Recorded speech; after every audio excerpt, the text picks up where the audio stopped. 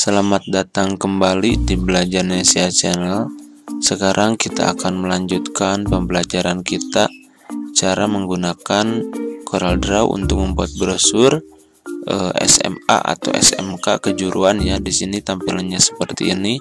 Bagi teman-teman yang mau silahkan bantu subscribe dulu dan silahkan tinggalkan di komentar nanti kita akan bagikan untuk linknya atau bisa langsung melihat di deskripsi. Oke, langkah pertama teman-teman di sini kita harus membuat dulu satu buah kampas seperti ini dengan ukuran A4. Setelah itu kita ganti satuannya menjadi cm dan dibuat menjadi landscape. Oke, seperti ini. Setelah itu teman-teman silahkan klik dua kali di rectangle tool seperti itu. Kita masuk page dulu ya supaya lebih besar. Yang ini kita beri dulu warna sedikit abu-abu saja ya. Kita buat margin untuk desain dan margin untuk uh, tulisan.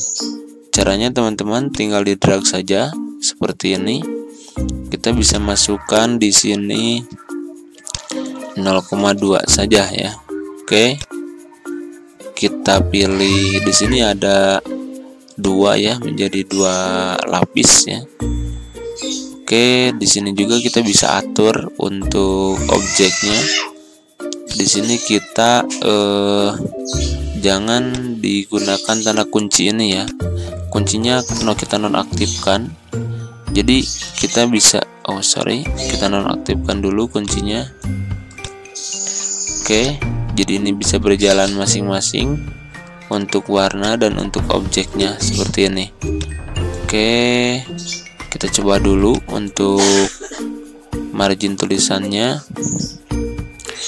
Oke kalau sudah bisa seperti ini teman-teman.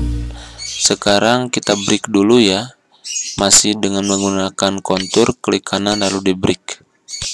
Oke setelah di break bagian yang ini menjadi dua bagian hasil dari kontur dan bentuk yang awal. Kita hilangkan dulu semuanya untuk lainnya. Tinggal di drag saja teman-teman seperti ini. Lalu klik kanan pada tanda X. Oke di sini yang kedua kita klik kanan dulu lalu ungroup all.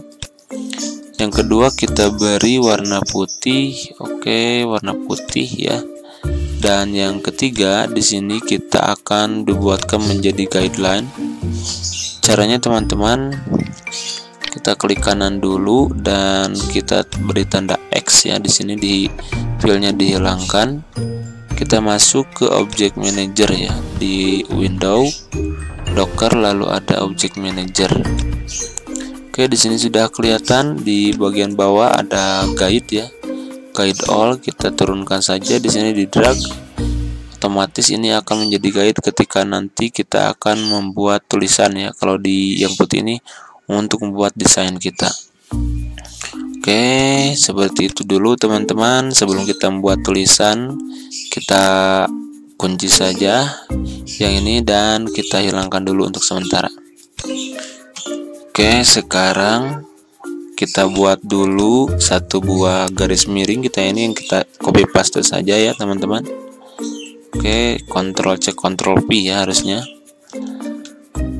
Kita masukkan outline dan kita filenya kita hilangkan.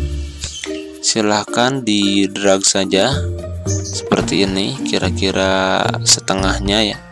Bisa dikira-kira atau teman-teman bisa membuat sekitar 3 per 4 bagian lah seperti itu Oke kalau sudah klik dua kali silahkan dimiringkan seperti ini teman-teman.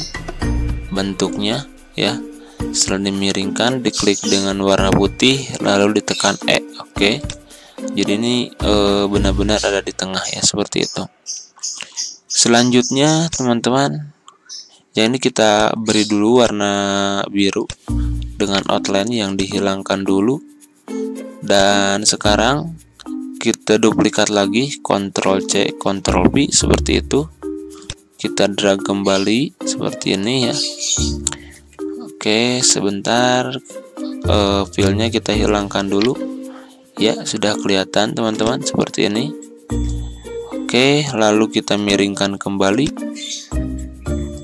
Iya kira-kira seperti ini. Sampai bentuknya itu memang ada di tengah-tengah objek ya. Di sini harus habis. Seperti ini teman-teman. Kita naikkan saja. Yang di sini yang di bawah kita habiskan. Sedangkan yang di atas di sini kita dibuatkan saja ya. Oke.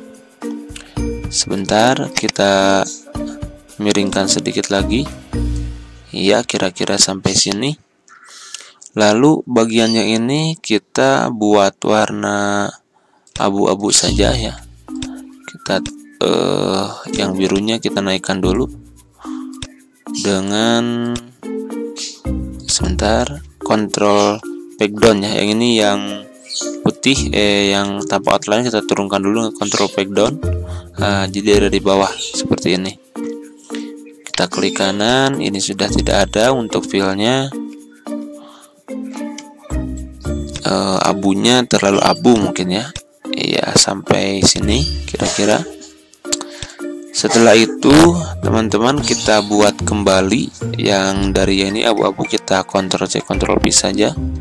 Kita buat menggunakan warna orange. Lalu kita turunkan ke bawah. Dan masih dalam e, bentuk jarang genjang. Kita drag kembali ya seperti ini teman-teman. Oke kita naikkan tidak apa-apa. Keluar dari frame juga. Kita turunkan kembali. Iya jadi seperti ini. Kita naikkan saja atau kita perlebar boleh? Iya seperti ini. Oke. Kita hilangkan dulu untuk filenya supaya kelihatan di bagian yang putih di bagian ini ya. Bisa dilihat teman-teman ini juga bisa kalau misalkan mau lebih lebar lagi kita bisa menggunakan ditarik saja seperti itu. Dan di bagian yang ini ya teman-teman kita pilih bagian yang putih seperti itu lalu dipilih ada intersection ya. Bagian yang abunya kita buang dan ini kita sudah punya objek baru ya. Oke kita coba turunkan dulu yang ini. Oke kita sudah punya objek baru bisa dilihat. Seperti di awalnya kita beri warna abu. Dan sekarang kita tinggal buat untuk warna orange nya ya teman-teman.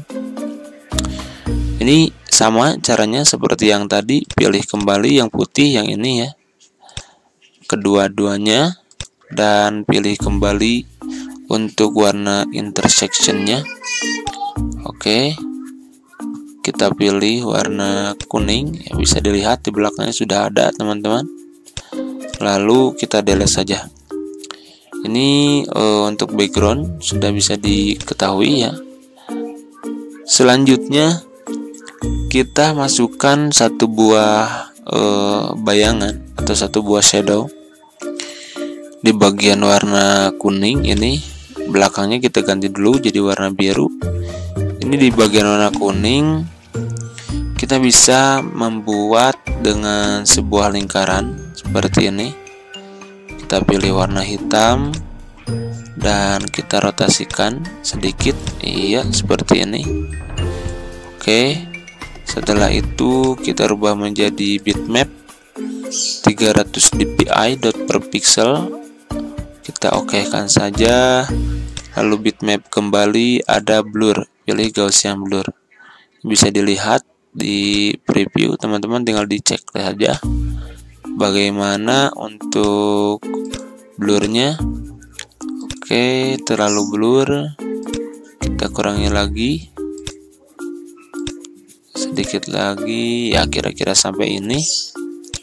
Setelah itu teman-teman ini disimpan di belakang ya. Tekan control backdown jadi harus ada di belakang warna abu yang ini ya. Oke. Kalau misalkan teman-teman agak susah bisa memilih yang bagian yang ini. Jadi dipilih eh, warna abu dan warna birunya lalu tekan kontrol home. Oke seperti itu. Ini sudah ada di bawah tinggal ditarik ke bawah dan diduplikat kembali. Oke lakukan hal yang sama seperti yang tadi. Pilih yang ini dan tengah lalu kontrol home. Oke sesuaikan dulu warnanya. Iya kira-kira yang lebih matching kembali. Sekarang kita buat satu buah lain ya satu buah lain untuk bentuk yang di tengah. Caranya bersama yang tadi menggunakan kontur ya di sini. Kita drag saja mengelilingi ya seperti itu. Ini kita buat satu saja lalu kita langsung break. Dan untuk warna orange ini sudah terpisah. Kita buat warna putih untuk lainnya dan pinnya dihilangkan. Silahkan disesuaikan. Jangan terlalu besar. Ya kira-kira segini saja. Selanjutnya teman-teman tinggal kita masukkan untuk model ya. Di sini modelnya sudah saya siapkan. Ini diambil dari Pixabay ya untuk modelnya. Eh maksud saya untuk bangunannya kita drag saja ke dalam Corel Draw. Oke. Ya kira-kira seperti ini teman-teman. Kita ulangi dulu maksudnya kita rapihkan dulu. Di sini di bagian gedungnya kita akan di power clip ya ke bagian belakang seperti itu. Jadi kita harus copy dulu ya yang warna birunya yang warna biru yang ini kita duplikat dengan Ctrl C Ctrl V seperti itu. Ya, ini kita power clip dulu ya. Lalu kita turunkan ke bawah Ctrl Pack down. Oke. Setelah itu eh, yang biru yang ini kita gunakan eh, transparan tool atau bisa menggunakan interaktif tool ya. Kita drag saja menggunakan interaktif tool dan di bagian yang tengah diklik dua kali lalu dikurangi. Ya kurang lebih seperti inilah teman-teman. Oke. Setelah dikurangi selanjutnya kita buat satu buah lingkaran di bagian kiri ini untuk uh, modelnya nanti ya. Kita drag saja. Oke. Setelah itu teman-teman ini uh, ada di different ya maksudnya di trim ya. Di trim. Sebentar yang ini yang garisnya jangan ke sana tapi di trimnya ke yang warna biru ya oke kita pilih dulu yang ini. Oke. Sebentar kita duplikat dulu ya. Ctrl C Ctrl V dipilih lalu pilih trim otomatis menjadi ada lingkaran. Dan lingkaran yang kedua yang tadi asal di copy. Kita perbesar dulu ya teman-teman. Oke. Kita perbesar dulu menggunakan shift kita pilih warna putih. Dan kita pilih sekitar 8 atau 6 lah 6 PT lah 6 poin ya kurang lebih seperti itu. Kita kasih 6 iya. Dan di sini teman-teman masih ada ya satu lagi lingkaran ini akan kita gunakan untuk e, mempower clip model ya supaya masuk ke dalam frame yang ini. Caranya teman-teman. Bentar ini terlalu sesak ya sepertinya. Ya tinggal kita masukkan. Ukur dulu sampai mana aktor itu atau model itu akan kita masukkan. Oke. Kalau dirasa sudah cukup teman-teman tinggal lingkaran yang ini ya kita duplikat dulu Ctrl C Ctrl V seperti itu. Pada model yang kita akan gunakan klik kanan power clip oke. Sebentar terlewat kita duplikat dulu sama ini juga harus ada dua ya teman-teman modelnya. Karena yang satu nanti digunakan ke dalam e, frame dan yang satu keluar ya kita masukkan dulu klik kanan yang satu ke dalam lingkaran. Sebentar. Di sini tidak tersentuh ya. Oke jadi yang disentuh itu masih foto-fotonya ya. Nah kita kurangi dulu. Ini eh, PNG nya terlalu lebar. Oke kita masukkan dulu ya. Yang ini kita bisa di drag dimasukkan. Maksud saya kita clip saja ke dalam e, lingkaran. Kita paskan dulu untuk e, tingginya ya teman-teman. Nanti disesuaikan. Yang ini memang masih belum kelihatan ya karena nanti akan terpotong oleh e, lingkaran yang tadi ya. Sebentar. Oke. Kita finish dulu. Dan bagian yang satunya lagi ini simpan di atas. Simpan di atas. Lalu ada control home. Ya teman-teman di sini harus sama ya e, bentuk atau dari posisinya oke. Kalau kira sudah sama bagian yang bawahnya gunakan shape tool kita naikkan. Jadi untuk lingkaran yang tadi tidak usah menggunakan dua ya teman-teman. Jadi seperti ini. Jadi ke bawahnya kita menggunakan bagian atas dan ke ke atasnya kita menggunakan bagian depan. Seperti jadi seolah-olah dia masuk ke dalam e, frame di bawah ya jadi lingkaran yang belakang ini bisa kita buang saja seperti itu. Tahu kalau sulit kita bisa gunakan dengan dihilangkan klik kanan saja ya. Terakhir tinggal kita masukkan deskripsinya. Saya sudah siapkan teman-teman untuk deskripsi dan uh, tagline dan lain-lain ya. Mengingat bahwa video ini dibuat secara lambat jadi supaya tidak terlalu lama saya buatkan untuk deskripsi icon karena pada dasarnya tinggal kita masuk masukkan saja jadi teman-teman tinggal dibuatkan saja untuk deskripsinya jadi mohon maaf kalau tidak dijelaskan secara menyeluruh supaya tutorial ini lebih cepat. Bagi yang mau nanti linknya ada di deskripsi tinggal digunakan saja. Oke, kita tinggal masukkan. Jangan lupa di control home dulu, teman-teman. Yang ini ke atas kan. Terus deskripsinya juga ada di sini. Iya, seperti itu tinggal kita kurangi untuk tingginya sosial media bisa di sebelah kanan dan untuk pendaftaran kita bisa dipilih di sini tinggal dikurangi oke seperti itu dan selanjutnya untuk barcode teman-teman bisa disimpan di sebelah kiri ini kita sesuaikan dengan yang di object manager tadi ya yaitu guideline. Oke. Bisa dilihat di sini guideline-nya teman-teman sudah ada. Jadi tinggal disesuaikan. Yang ini untuk guideline supaya lebih mudah ya.